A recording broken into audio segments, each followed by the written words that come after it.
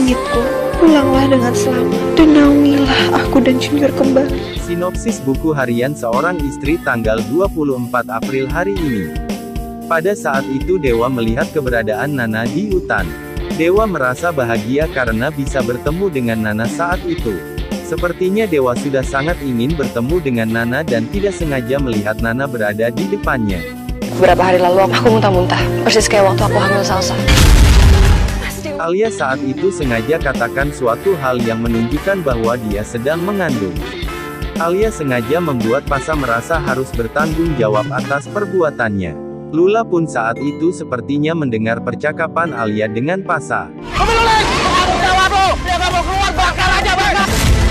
Bu Saras dan Bu Farah saat itu sedang mengendarai mobil dan bertujuan untuk mencari keberadaan Dewa dan Cornelia. Namun tanpa diduga mobil yang mereka bawa menabrak pedagang yang sedang berjualan di depan mereka.